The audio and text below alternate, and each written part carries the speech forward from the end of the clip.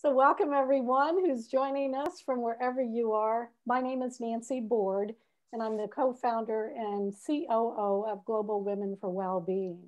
And we are here today on our Wine and Tea Wednesday series with my co-host Lynette Davis, who I'm thrilled to have back and in this co-host seat. And our guest today is Dion Johnson. But before we get to Dion, let me just um, tell you a little bit about Lynn and who we are and what we're going to have happen today. Um, Lynn is our administrative guru for Global Women for Wellbeing, and she is the glue that holds this organization together. We would not be where we are without her. So, Lynn, I'm so happy to have you back in the co host seat. Uh, so, thank you for joining. And Dion, what a what a pleasure to be able to interview you. Dion is part of our GW4W London team. She co-hosts often. In fact, many of you will have seen Dion and, and heard her story a little bit. But today we really wanted to dig a little deeper into Dion's journey. There's so many nuggets of helpful information. I'm, I'm sure we're going to pull from today and pull some threads apart learn a little bit more about you and how you can inspire and lead others in our organization and in our network. So welcome, Dion. Thank you for oh, being oh, here today. welcome, Dion. A pleasure, such a pleasure. Thank you, Lynette and Nancy, for having me here today. And it's always a pleasure to speak with you. And usually we're on the same side of the camera, like you know, same side of the equation. But now I'm in the guest seat. Woohoo! Yeah, yeah exciting. And so for those of you that want to join, um, it's still morning where I live. So I've got my nice big cup of coffee. so we like to just have a sip and uh, we'll jump right in asking Dion some questions about her life and what's happening. So Lynn, I'll turn it over to you. Thanks, Nancy. And again, welcome, Dion. And welcome, everybody. So, Dion, you started your career as a midwife and then you became an executive coach, an author now, and you're an advisor to help women lead from an authentic place. So, mm-hmm. given your background and your experiences, what was it that prompted you to write your book, Influential Woman? Oh, so um, the long, the, there's a long story, the short story, but let me tell you, um, that right at the beginning, the thing that really prompted me was good business advice. So I had a few coaches at the time who would say to me, Dion, um, you really should write a book. It's good for business.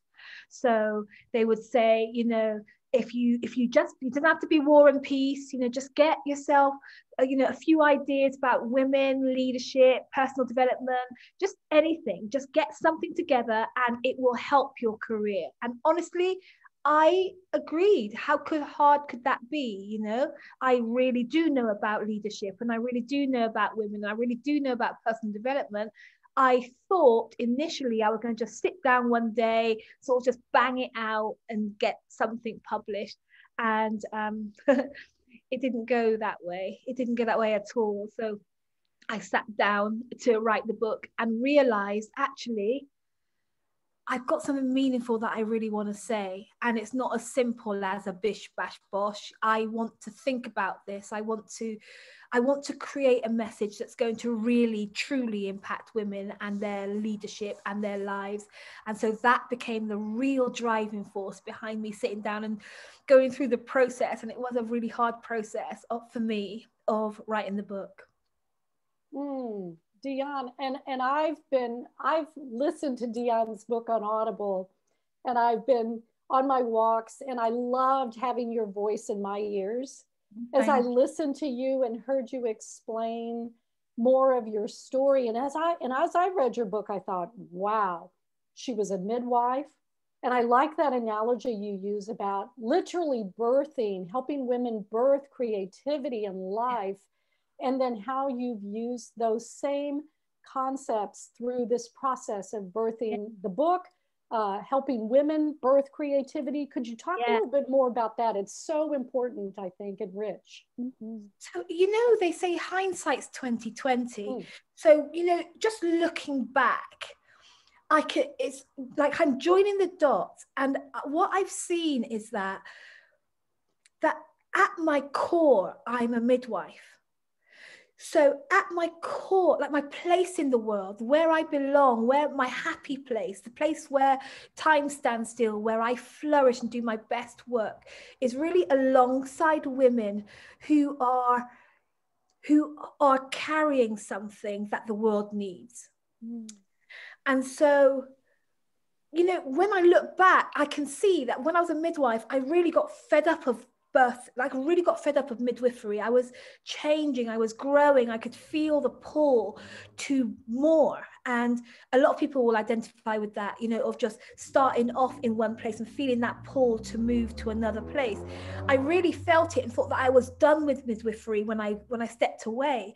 But actually in hindsight i look back and i can see that it's just a different type of midwifery now that I am still standing alongside women who are going through challenging processes, but now they're not in the labor wards; they are in the corporate boardroom.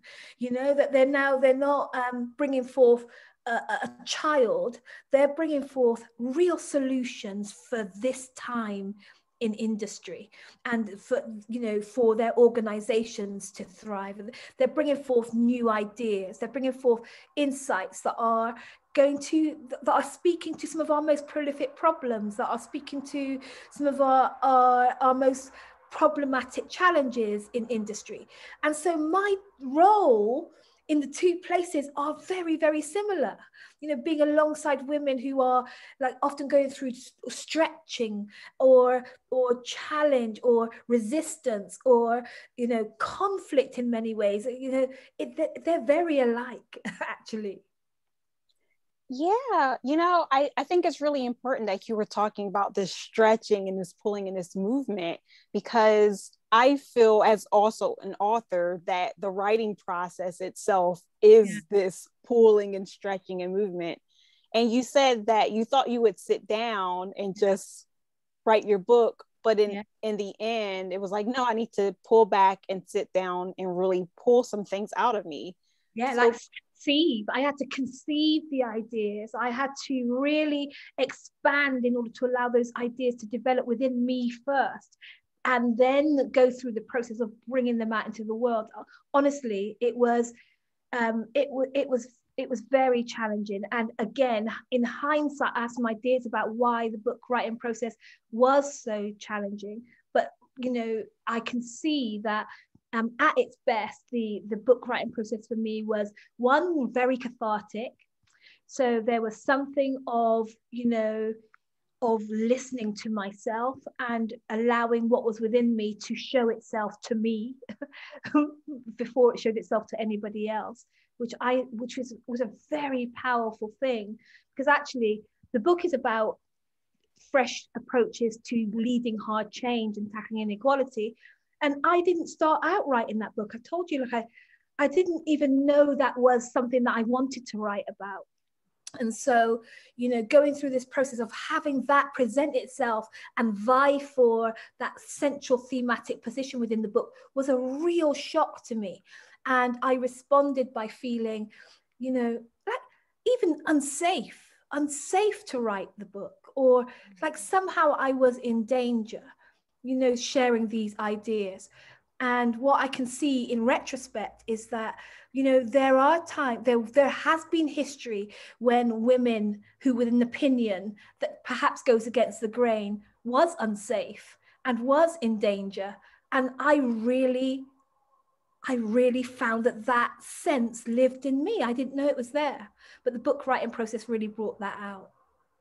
Mm. Oh, Dion, I mean, what you're tapping on so many things that are stirring up in me with this process of this, this whole conception, metaphor, and delivery model around midwifery fits with everything that you're saying. And I think so many women can relate to that. And that's definitely something that that is specific to the female body. Yeah. You're also talking about fear and putting your voice out there in a way and and and I think that that can be a challenging concept for so many women who are saying, oh, wait a minute. If I say this, what are the consequences? If I yeah. step into this part of myself, if I really, really put how I really feel out there, yeah. tell talk to us about that. What's that like? Because you're out there now. I can't tell you how, I like to say that mine is a privileged position. So. I get to sit with i think some of the most brilliant women in the world women who are who are high achieving women women who are ceos directors heads um, women who you know have really done the work to to ascend the ranks and to occupy these spaces.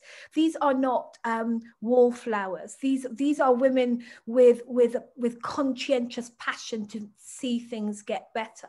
And I can't tell you the number of times that I see these women who are going. They come to me because they're going through some kind of conflict at work. You know, maybe they there's some challenge with the board, or they're you know they're personal life is spilling into their professional life or work life balance issues or whatever it is the issue that they they call me to work through but often it gets back to when we pull the layers back. I like to say we work woman to woman behind the mask.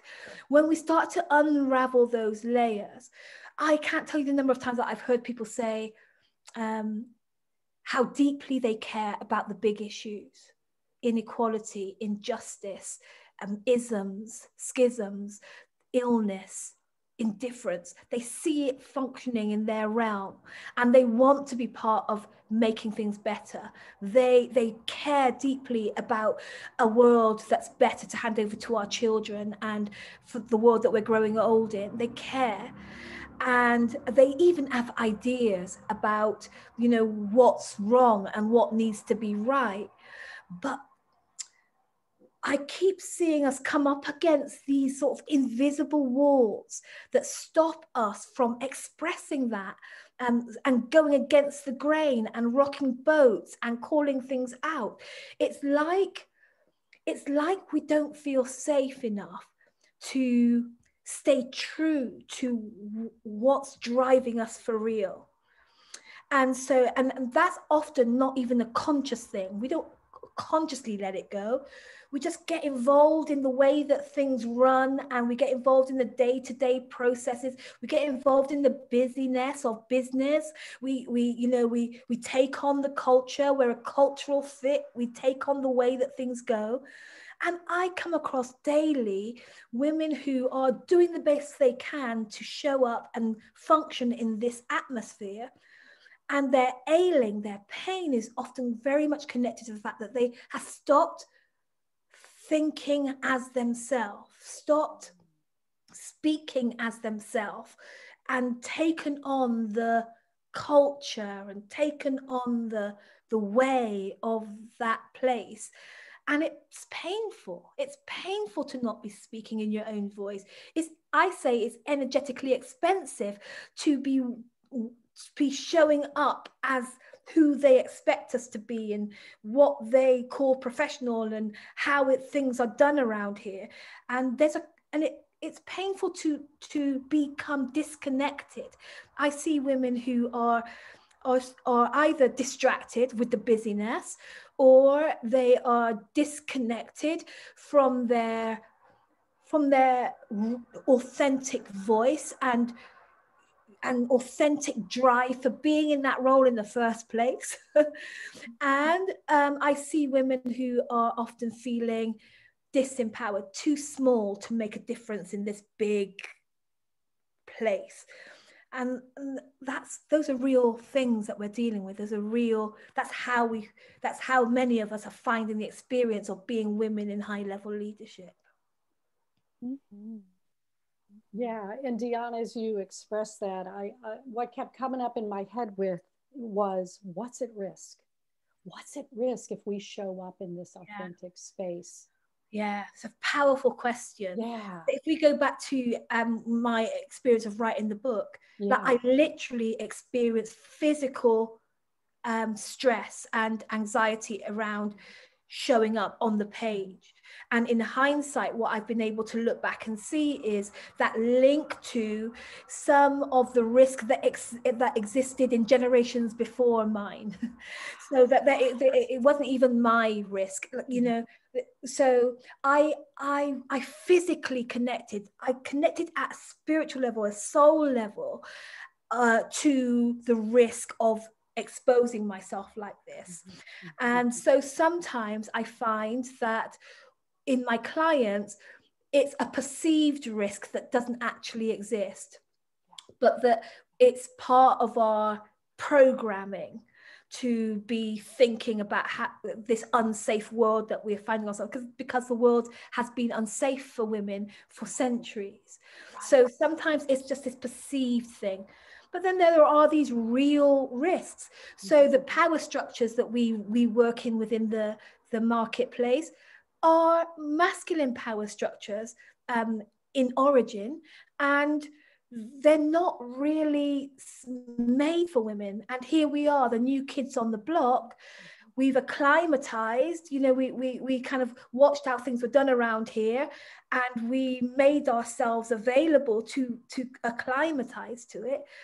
Um, but there are things that are that are are oppressive it, it, within the system to womanity and to women that at the moment where is, is a very real thing. You know um, not you know being required to not be yourself in order to to to make it. Well women who have a drive to make it have really suffered with the requirements that that co- costs you know? Family life is suffering you know um, you know being overlooked or under acknowledged or undervalued is a painful human condition. Like we don't nobody likes that feeling. We want to feel significant and yet for women to feel significant in the boardroom in the c suite and in high level leadership sometimes we're selling our soul for that for that level of recognition and we're paying in other ways you know? So it is dangerous in many ways. Yeah you know and as I'm, I'm listening to what you're saying and i'm thinking about the type of woman that you work with how do women kind of move through these really painful emotions that are associated with this historical background that we walk into? Um, knowing that all of that's present and still have this determination to say that I am worthy enough to be a leader and yeah. I'm going to work towards become a leader because leadership um, is needed and it, yeah. it it is needed from somebody who looks like me. Yeah, yeah. I mean, I think that it's it's critical to start even be having those conversations. So what I see on a daily basis is women who are feeling the pain of the situation, but not having any context for it. So even just being able to to question what this is about. I speak to women daily who say that they've been experiencing this thing for a year or three years or six months, and you know, just feeling like it's just a normal part of being in this environment. So I think first of all, we're calling women to understand that work isn't supposed to be making you sick. Work isn't supposed to be making you pain, feel pain, and if it is, that's some that's a, a trigger point that needs to be. You need to be thinking about where you get support with that. You know, so many of us are suffering in silence and just thinking that this is just the way that things are around here. Well, that I beg to differ. I say that this should be eh, pain. If you're going home feeling heavy, drained, uh, you know, depleted, upset, this isn't something that needs to go on longer than you know sometimes we have periods like this because of what's happening that's normal but it shouldn't be going on months and years like this is that's not okay and then that leads me on to the next thing about support you know I, i'm on this mission it's part of why i wrote the book i'm on this mission to make asking for help and receiving support sexy mm. you know just going back to the middle just going back to the midwifery analysis mm-hmm. you know 800 women a day die in childbirth right now around the world. 800 women a day. And this, when you look at the stats and look at what's going on behind this, it's largely a result of inadequate professional high level support for women. That women, even in natural childbirth, don't have expertise, uh, expert support. nobody in this country, and I know there in the USA, nobody wants to go and have a baby by themselves somewhere. because it isn't just the physical process, Dion. Now, right. what you're talking about is an internal, a real sense of support. Somebody's got my back. Yes. The stress levels can be reduced. Yeah. Otherwise, you're going into that situation with strangers who yeah. you have historically known don't really care about you. Exactly. Right? And, exactly. and and and and and what and so again this midwifery metaphor that just keeps swirling in my head um, i think what you're saying is so so important because you also talked about how women are suffering in silence yes. and sometimes that goes on for way too long as you said and yeah. so part of this is about really challenging those norms and those standards and, and what we know to be true, but really, you know, bashing up against that and saying, no, it doesn't need to be this way. We're going to call this out. And that's, you're calling it out. I'm calling it out because it's essential, not only because women are metaphorically dying off at their desks. Mm-hmm. But because when you have a woman who is a CEO or a director or a head, in a role, in a pivotal role within an organization that has a pivotal impact on our society, it really matters what's going on in senior leadership. It really matters who's occupying those roles. And we really need them to be bringing their A game. We really need them to be challenged, be, to be the kind of leader that's well enough, whole enough, strong enough, standing sturdy enough to challenge the organization in love and to call things out and to suggest new ways and to bring forth new insight. Like this is what we need right now. And we're all scratching our heads saying, what do we do about um, diversity and inclusion? What do we do about, um, you know, the, the, um, the presenteeism and all kinds of issues going on with our employees and our staff? Well, what we do is we create a board of powerful, heart centered, motivated to make a difference leaders who are thinking through these challenges. And if you have people who are feeling pain, or they have old wounds that are that are not um, healed, or they their heads scrambled, or they're just managing too much, or they're burning out, or they're breaking down. Like those conversations will never be solution focused or powerful enough to change the things that we really need to change right now. Mm-hmm. Yeah. Yeah.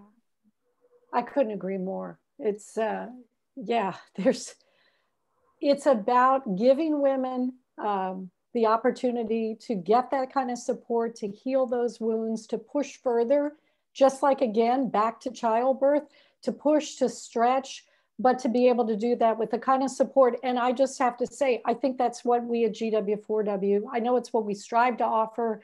I believe hearing from so many women, it is what we offer.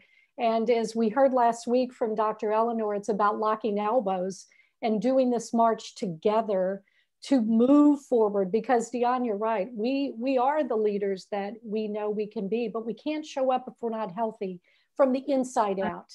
I mean, I, I got goosebumps when you was listening to what you were just saying, Nancy, and that picture you know i've wept before i've wept before at the at the perception of that picture with us linking arms. Mm. i just think that this is you know there's there's a saying that there's nothing quite as powerful as a woman with a made up mind. You know i really believe that if we decided that we were going to tear down racism in the marketplace, mm-hmm. if we decided that we were going to end all, all of these inequalities and all of its forms, if we decided on a picture of the world that we want to hand over to our children, us as women, I really believe that I've seen our power in the labor room. I got to see womanity in her glory, and she's fierce. she's powerful. Like that, She's not man, she's not weak. I hear women saying, grow some balls or man up. Like, what? Like, I've seen womanity, and I'm telling you, we don't need balls. We are made of very sturdy stuff. We are, we're expansive. I like I t- tell my right. clients, I've seen, I've seen womanity, and she is able to to garner support. She she in, she inhales support and she mm-hmm. turns it into fuel to bring forth new things.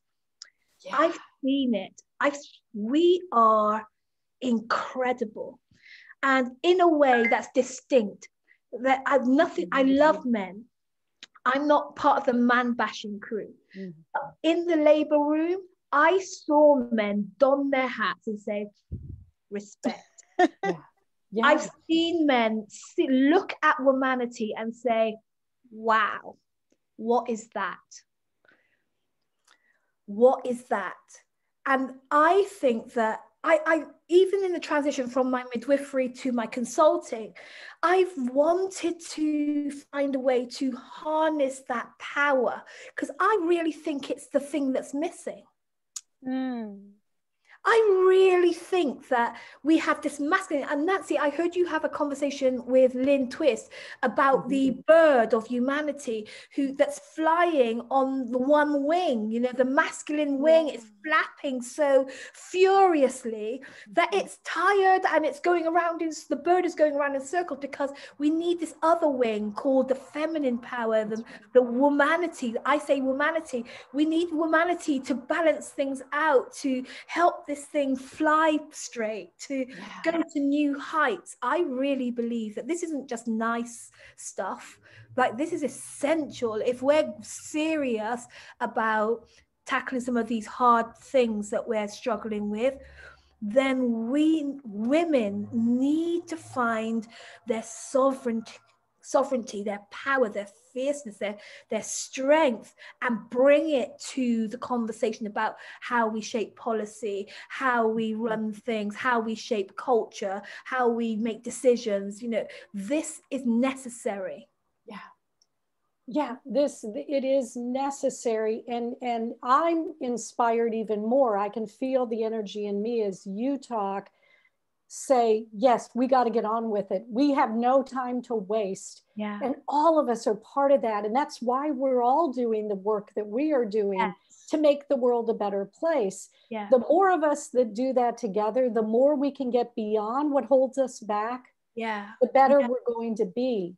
Um, and, and I want to ask a question because we're already starting to get. Before you go there, let me just say yeah. That yeah. is what is exactly why I'm aligned with GW4W. Mm. So I think that you know there is this coming together of like minds that is really important too. Mm. That that you know that we that we need to find each other and support each other through this work because, like you said, it's like essential work. Yeah, yeah exactly. Yeah. Yeah. Yeah. And so what I'm thinking of, um, gosh, Dion, because we are getting to the to the end. I Lynn, is it okay? I want to ask her one more question before yeah. we close. But I guess what I want to say, because I'm thinking of the journey that you've been on, and and for all of us, Lynn's an author as well, and I'm I'm guessing some of this is really resonating with you, Lynn. It is. But I'm thinking about I'm thinking about our uh, next gen young leaders, and I yeah. just like to one more question maybe would be you know, what would you say to your 18 year old self now, knowing what you know, and also to that younger generation, women that are coming in now that yeah. don't have to hold back? Yeah. You know, what, what would you say to them that's different? I would say curiosity is key. I would say that at the moment that there are some i hear a lot of people even younger people talking about you know fight, feeling stuck because they don't know their purpose. Like this is something that i'm hearing among this the younger generation like eh, you know i don't know my purpose yet so i feel stuck. Well i say be curious about everything wherever you are ask questions look behind the bonnet look underneath look behind look see see how things are running. I would say don't be so driven to go into leadership. Be led into leadership by your mm. curiosity. Allow the questions that you have to, and the answers that you find as a result of asking those questions to shape what it is that you're passionate about being and doing in the world. So, for example, if you um, start to understand, if you see something that um, piques your interest or something that irritates you about your the way you work or you have some kind of issue with your boss or you know there's some kind of issue with the way that your organization is impacting your world and you're seeing it, I would like to say take that as an invitation. Take that as an invitation to walk a bit, to advance, to look, to, to, to examine it, to scrutinize it. Because as you do, you ask the questions, you will begin to start to see where the gaps are, where the problems are that are shaped just for you like they, they they are calling you to your leadership self. Too many of us in the in previous generations have gone into leadership to prove something about ourselves and i'm really hungry about for a generation that will go into leadership because they've seen a problem with their name on it they've seen they've understood an issue that they have something to say about or they've seen a, a, a challenge that that they feel like leadership is their platform for being part of the solution. So we don't need any more leaders who are trying to show sh- you know um, demonstrate impress people and show that, that what they're made of and what they're worth we don't need more of that. We need leaders who are caring about real issues. So I say get curious, get curious about everything, ask questions, ask why, and dig around. I love that. I love that. I, I, think that's really helpful because, you know, I, am thinking back on a younger version of me who was like, yeah, I, I was one of those. I'm like, I don't yeah. know what to do. I don't know what my purpose is. And, yeah, I hear know, that so much. Yeah. and yeah. you know what? Just becoming curious about things and following where that is you collide with your destiny in in that absolutely. process. Absolutely. So yeah i love that. Thank you. Yeah thank you. Awesome. Well I think we're at that time, Nancy. So, you know, as we do each week, we like to encourage you to check out our website, gw4w.org to become a member, to join us in our elbow locking yes. and our creating and finding like minds to create this type of support that we need so that we don't suffer in silence, so that we can unmask and give birth to our purpose and to meaning and to leadership in the world. Yes. And um, as we always do, we'll do our ending toast. And uh, we say, great minds, great sip, together. together. thank you so much, Lynn and Dion, and thank you to everyone who has joined us today. What a fabulous conversation, and I look so forward to many more of these with elbows locked.